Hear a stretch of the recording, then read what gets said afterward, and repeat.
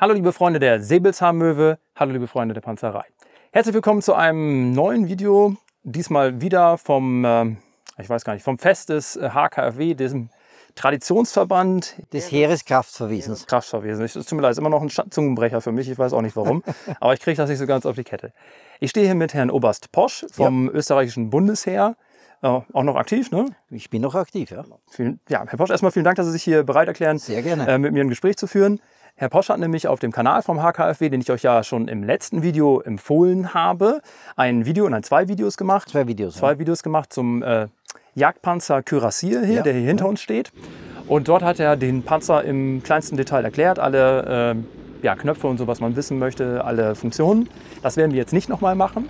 Aber als ich das geguckt habe, als Panzerfan oder auch jemand, der selber auch Videos macht, sind mir ein paar Sachen aufgefallen, wo ich nochmal nachfragen wollte. Und ich dachte, das ist dann für euch auch ein Mehrwert, wenn ihr euch jetzt die Videos von Herrn Posch, also wenn ihr noch nicht gesehen habt, dann nach diesem Video anschaut. Die sollen ja nicht einfach jetzt wegklicken. Ne? Ähm, dass ihr dann sagt, okay, da waren noch ein oder zwei Sachen hier, äh, die sind jetzt noch ein bisschen klarer geworden. Mhm.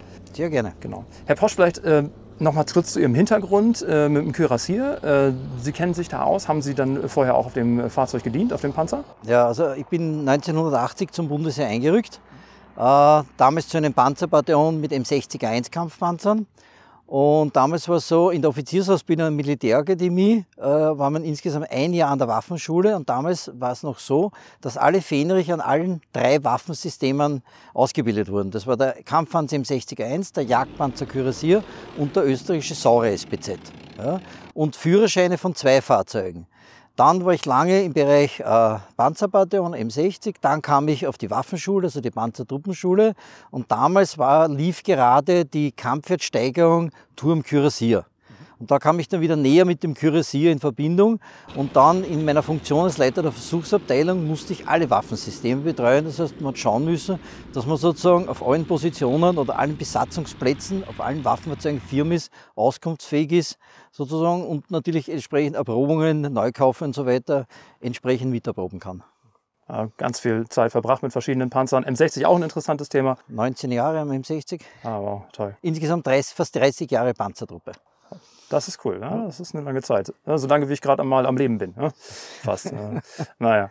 Ähm, Herr, Herr Posch, vielleicht von Anfang an erstmal, der, der Kürassier ist ja ein bisschen anders designt als andere Panzer oder auch andere Jagdpanzer.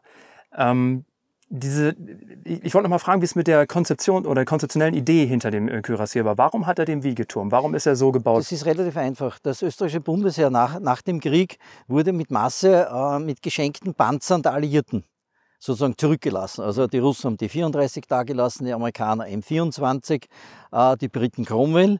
Und die Idee war, und einer der Käufer des Bundesheer war der französische Jagdpanzer AMX 13, der an sich diesen selben Turm hat äh, wie der Kürassier. Und die Österreicher haben relativ festgestellt, dass das Waffensystem interessant ist. Es ist ein kleiner, wendiger Panzer. Das heißt, auch auf sage ich mal, engeren Wegen im gebirgigen oder im, im hügeligen Gelände bewegt er sich sehr gut. Mit dem Turm und der Waffenleistung war das Bundesheer zufrieden, nur mit der Wanne nicht. Das war nur ein Benzinmotor, schwierig zu fahren, schwierig zu lenken. Und damals war also, wurde der Schützenpanzer Saurer bei der Firma Steyr gebaut, weil die haben ja Saurer übernommen, also Saurer Österreich. Und das Bundesheer ging auf Steyr zu und sagt, wir wären mit dem Turm zufrieden, könnt ihr uns nicht eine moderne, bessere Wanne bauen? Und das war die Grundkonzeption des Jagdpanzers Kürassier. Gedacht war als Jagdpanzer in rein defensiver Verwendung. Also es gab Jagdpanzerbataillone. Ja.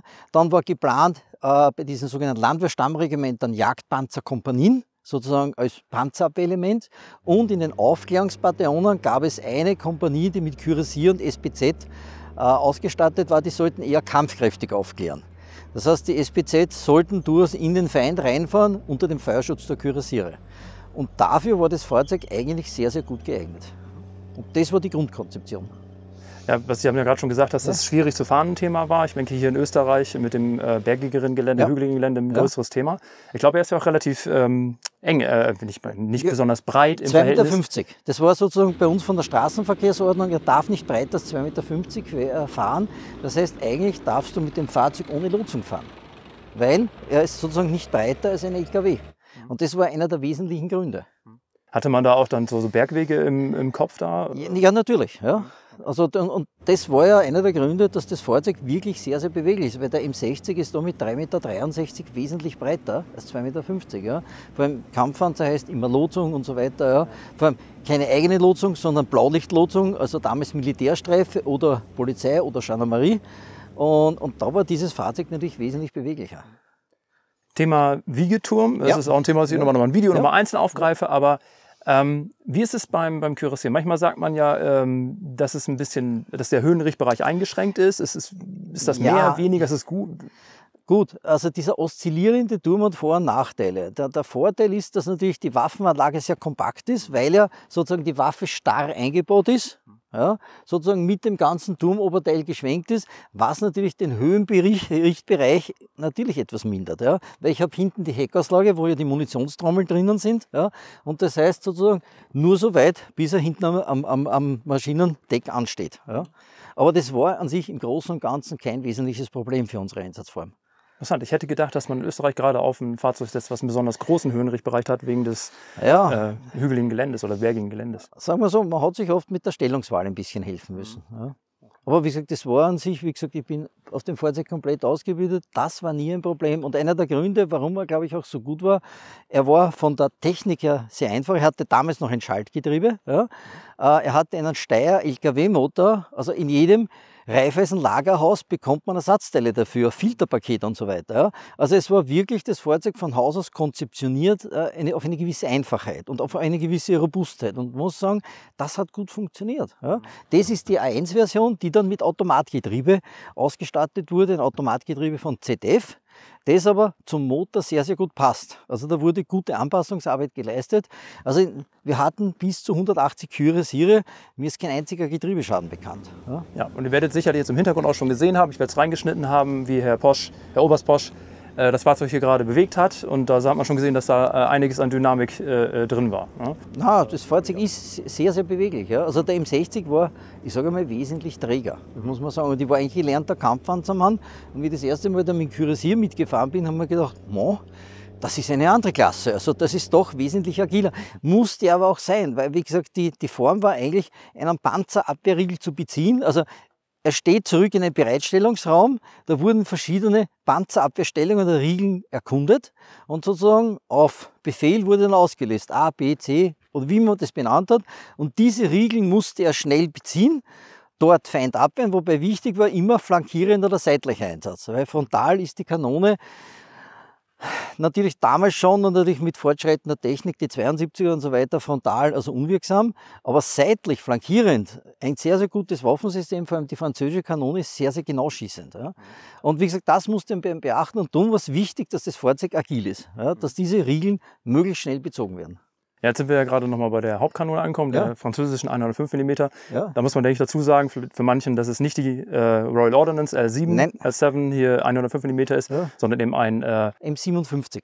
Die französische Panzerkanone M57 wurde sie bei uns genannt. Wie gesagt, natürlich ballistisch schwächer als die L7, die britische, aber trotzdem ein sehr akkurates Geschütz, muss man sagen. Ja. Und damals war ja die Hauptmunition, so, die wir verwendet haben, äh, Leuchthohlladung und Spreng also die LHL haben wir gesagt. Ja. Was ja das Besondere bei der ist, äh, es gibt Züge und Felder, aber bei der rotiert die gesamte Außenhülle. Das heißt, die stabilisiert sich ballistisch zusätzlich ja. und die Sprengmunition. Später kam dann die Pfeilmunition oder eigentlich KE, kinetische Energiemunition dazu.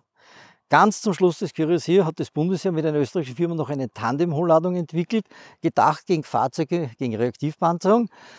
Die Entwicklung fertig und dann wurde das Fahrzeug leider aus dem Betrieb genommen. Ja, ärgerlich. Ja. Absolut, ja. Äh, ja. Ähm, genau. Was, ich aus, was mir aufgefallen ist in dem Video, ja. was Sie ja hatten, was ich euch auch verlinke, ist, dass die Ladetrommeln hinten, werden die jetzt, das habe ich nicht ganz verstanden, ob ja. die jetzt elektrisch äh, betrieben werden normalerweise und es gibt einen Notbetrieb mit diesem Rad, ja. was der Kommandant hat? Oder, also wie rum ist es? Nein, nein, das ist immer Handbetrieb. Also zwischen Richtschütze und Kommandant ist sozusagen im Heck äh, ein Rad angebracht mit zwei Kardanwellen und über dieses Rad wird entweder die linke oder die rechte Trommel angetrieben. Ja, das ist immer händisch. Ja. Das heißt, die Trommel muss so lange gedreht werden, bis eine Granate in diese Laderinne fällt. Und dann ist dieser federbelastete Ansetzer, der ausgelöst wird und praktisch die Granate in den Laderaum stößt. Und dann geht der Verschluss zu. Das heißt, wenn abgefeuert wird, geht die Kanone nach hinten. Äh, Verschlusskeil wird geöffnet und hinten geht ein, ich sage mal, ein Türchen rauf. Ja, das ist wirklich so im Turmeck, ein, ein kleines Türchen, das geht dann auf und da wird die Hülse sozusagen rausgespuckt. Und dann, sobald das abgeschlossen ist, muss einer von den zwei wiederum das Handrad drehen, je nachdem, welche, man hat immer zwei Munitionssorten geladen, welche gebraucht wird. Und wie gesagt, zwölf Schuss kann er so in relativ rasche Folge abfeuern. Dann muss er zurückfahren in Deckung. Der Trick ist, wir haben da die offene Munitionsluke neben dem Fahrer. Der Fahrer sitzt, gibt die Granate nach oben. Jemand steht hier, ja, muss die Granate übernehmen und der Turm ist auf 9 Uhr oder 6 Uhr geschwenkt, wird unter Deckel aufgemacht und da wird einfach die Granate reingeschoben. Also man kann im Feld noch einmal eine, eine Ladung nach. Zumindest einmal, ich glaube sogar zweimal von der Munitionsbeladung. Ja. Stimmt, ich bin schon länger im Fahrzeug, also alle Daten weiß ich nicht mehr, aber ja. Also gesagt, das kann ich ja noch ein. Was vielleicht auch noch interessant ist, es hat am Kürze drei Turmvarianten gegeben. Okay. Ja, weil die ursprüngliche Variante war die FL12, das ist die französische, da war alles Guss. Und dann gibt es die Variante, das sieht man da, dass da oben Schweißnähte sind. Mhm. Da hat es gegeben den Turm Föst 1 von der Österreich und Föst 2. Das ist ein Föst 1 Turm, da sieht man das Oberteil teilweise geschweißt. Und beim Föst 2 Turm, der ist oben etwas breiter, wo man versucht hat, für die Besatzung sozusagen ein bisschen mehr Schulterfreiheit zu schaffen. Ja, ich habe ja heute auch schon drin gesessen, das werdet ihr, werdet ihr auch schon gesehen ja. haben. Also äh, genau, also wir haben ja auch reingefilmt und so, das ist das wirklich nicht viel Platz. Ne? Ja, also man fühlt sich mehr mit dem Fahrzeug verwachsen. Das stimmt wirklich, wenn man drinnen sitzt. Man, man ist einfach mit dem Fahrzeug verwachsen. Ja? Weil Kürassier kommt ja von diesen Kürassieren und die hatten ja einen Harnisch, das war der Kürass. Ja? Und ich sage immer, ja, so wie man sich den Harnisch angezogen, muss man sich den Kürassier anziehen. Ja? So muss man sich das vorstellen, ja. Was ich mich noch gefragt habe bei dieser ja. Munitionsauswahl, die ja dann händisch erfolgt. Ja. Ähm, und es gibt ja in Anführungsstrichen nur zwei Besatzungsmitglieder im Turm. In ja. einem normalen Kampfpanzerturm sind ja drei Personen. Ja. Ähm, das, hat das den Kommandant zusätzlich belastet, jetzt in seiner vielleicht Hauptaufgabe der Führung des Fahrzeugs? Na, wesentlich nicht. Das war eigentlich nie ein Problem. Also in den Jahren der Ausbildung, ja. Ich meine, das, was den Kürassiers auch gezeichnet, wie er damals in Betrieb ging, hatte bereits einen, einen Laserentfernungsmesser, einen französischen Silas, ja. Und das war damals topmodern. Ja, das heißt, äh, er, er, er, musste Entfernung messen, musste das ablesen und die Optiken waren Entfernungsstrichplatten. Das heißt, er musste mit einer Nullmarke anrichten, dann lasern, dann hat die Entfernung abgelesen und dann musste er anhand der Entfernungsstrichplatte hochschwenken, so lange bis er die Entfernung erreicht und dann abfeuern. Das konnte sowohl der Richtschütze als auch der Kommandant. Also theoretisch hätten auch zwei Mann den Panzer komplett bedienen können. Ja, weil der Kommandant, also wir haben eine Turmhydraulik, danach das ohne Druckspeicher. Das heißt, die Turmhydraulik läuft ständig. Wenn ich sie einschalte, es gibt keinen Druckspeicher, der sich irgendwann füllt ja, und dann ist kurz Ruhe. Nein, die Hydraulik rennt ständig und der äh, Richtschütze hat einen Doppelrichtgriff und der Kommandant einen Einhandrichtgriff. Eine Besonderheit ist auch noch, dass beim Kürassier die Kanone und das Koaxial-GMG nicht mit der Hand abgefeuert werden, sondern mit einem Fußpedal. Das ist eine Besonderheit, warum auch immer die Franzosen das gemacht haben. Das heißt, der Richtschütze hat unten zwei Fußpedale. Das linke ist für die Kanone, das rechte für das Koaxial-MG. Da gibt es aber Sicherungseinrichtung. Das heißt, er muss einen Schieber nach außen drücken und dann kann er das Pedal runterdrücken. Ja? Das heißt, äh, war durchaus gefährlich bei der Kanone, das weiß ich noch beim Scharfschießen, wenn man schnell abfeuern wollte, hat man sozusagen schon entsichert, also rausgeschoben. Ja, und wenn man ein bisschen zu weit gedrückt hat, ist passiert. Aber das war, das war ein Erfahrungswert. Ja. ja. ja. Nee, gut.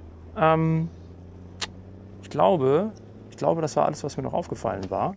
Sehr gerne. Herr Oberst, vielen lieben Dank für, ja. äh, dass Sie mir hier noch Rede Antwort gestanden haben nach diesem langen Tag. Ne? Es ist ja das Ende von dem ja. einen Tag, an dem wir ganz viel erlebt haben. Ja. Und äh, genau, vielen Dank nochmal für die Einladung, dass Sie mich abgeholt haben vom Bahnhof. Überhaupt kein Problem. Genau. Und Leute, ich kann euch wirklich den Kanal vom HKFW, vom äh, Traditionsverband. Äh, Jahreskraftverwiesen. So heißt er. Äh, kann ich euch wirklich ans Herz legen. Link in der Videobeschreibung seht ihr auch jetzt hier oben irgendwo in der Ecke als hier Link äh, oder auch im angepinnten Kommentar. Guckt euch die beiden Videos mit Herrn äh, Oberst Posch an, aber auch einige andere Videos, die da toll gemacht sind. Ähm, die machen hier wirklich eine tolle Arbeit und machen noch tolle Veranstaltungen. Ich hoffe auch in Zukunft nochmal das eine oder andere Mal wiederkommen zu dürfen. Und für dieses Video bleibt mir nur noch zu sagen, vielen Dank fürs Zuschauen. Bis zum nächsten Mal.